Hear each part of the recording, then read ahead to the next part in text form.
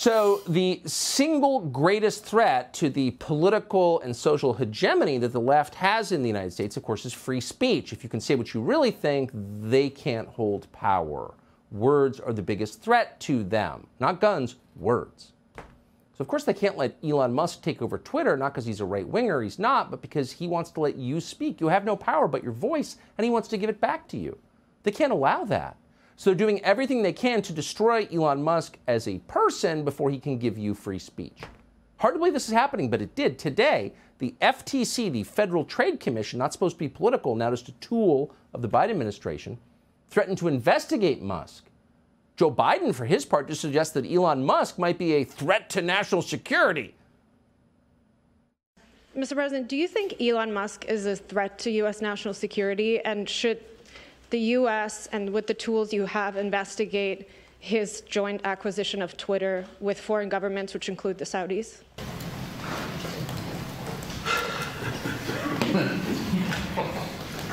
I think that Elon Musk's cooperation and or technical relationships with other countries uh, is worthy of being looked at. You'll notice that in that brief moment of lucid thought, he giggled because he's thinking to himself, is Elon Musk a threat because of his relationship with foreign countries? Wait, I pressured the Ukrainian government to do business with my son and helped him with his business deals with China. and now we're going after Elon Musk. Okay. What's interesting is, even as they're threatening to arrest Elon Musk or whatever that just was, at the same time, Biden's Justice Department seems not very interested in a man called Sam Bankman Fried. Why is that? Well, maybe because Bankman Fried was the Democratic Party's second biggest donor this cycle, just over 30 thereabouts. But he came in right behind George Soros for the amount of money that he gave to Democrats. And he's friends with all of them. We're going to a much longer piece on this soon because it's fascinating. But his crypto company just blew up destroyed a lot of people's net worth. Now, apparently, as his company was tanking, Bankman Fried continued to send millions of dollars to the Democratic Party. So the question is is that fraud? We don't know.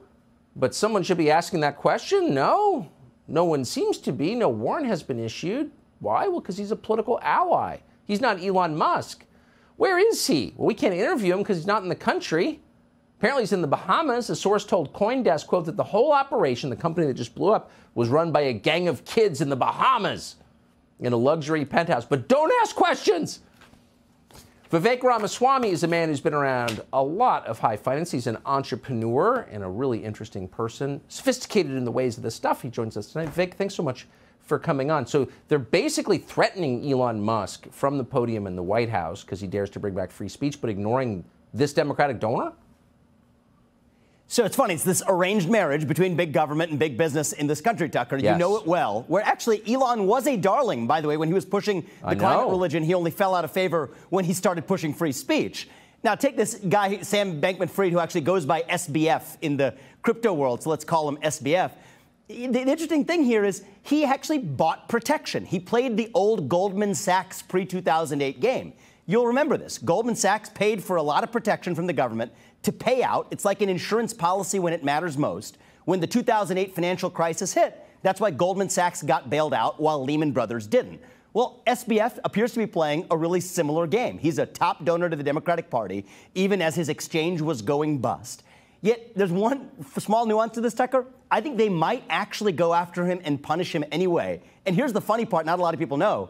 He actually had pledged up to a billion dollars in donations this cycle and next so there are actually a lot of Democrats upset with him that he only gave 30 to 40 million. So if they do go after him, it's because he didn't buy the gold-plated insurance policy. He just stopped at the cheap version of the insurance policy instead. And so if he is indicted or if he does get in trouble, that'll be one of the lessons of the story for future crony capitalists is pay up for full freight or else you're going to get in trouble. Amazing. Just in 10 seconds, since you're old enough to remember, an oligarch pledging to throw a billion dollars into a Democratic election. Democrats used to complain about big money, right? didn't they?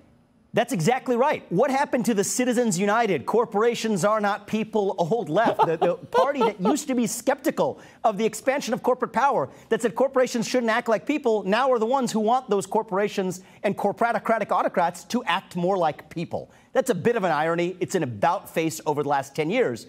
But what they realized is, you know what? It's not an arranged marriage where we have to love our partner. It's more just like mutual prostitution, and it works as long as each side gets something out of the trade. Birth the illegitimate child of the woke industrial complex. That's where you get to where we are. Oh, Vivek, they must really hate you because you can explain it so very well. And I appreciate your doing it here. Thank you.